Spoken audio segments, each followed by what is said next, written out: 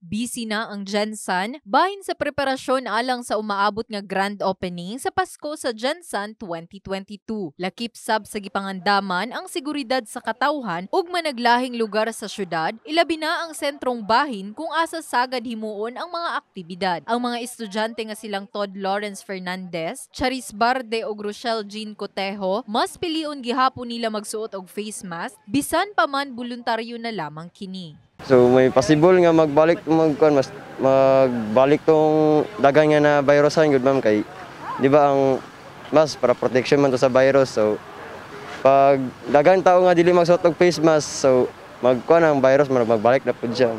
Oo, nahimo na jud siyang routine kanang imong bisag balimtan nimo yung pitaka yun lang jud ang mask. Murag ana na lang gud siya kay paglakaw pagawas pa lang nimo gate, mask jud imong una-una isipon kay kung ikaw naga ano jud kasi mong safety, magsuot na lang jud kag mask. kanang paggawas nimo sa balay nga nang naakay adtuan murag kanang kanang may kulang sa imong kung dili ka magsuot og face mask tong ato gud ma'am. Bisan si Police Lieutenant Colonel Aldrin Gonzales, Deputy City Director ug spokesperson sa General Santos City Police Office kon GSCPO, nagbutsyag nga maayo gihapon nga magsulob og face mask. Ang objective naman natin lahat yan is uh, wag sana tayo mahawaan ng COVID.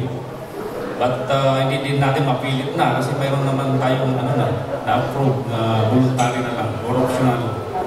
But ang amin na lang, we cannot force uh, lahat na magsuot na kasi ulitin natin, mayroon ng ano, autos na voluntary na. But for us, for me personally, kung ako lang masusunod, kung tayo lang mapasunod, magsuot pa rin tayo palagi. Liza Labajo, Brigada News.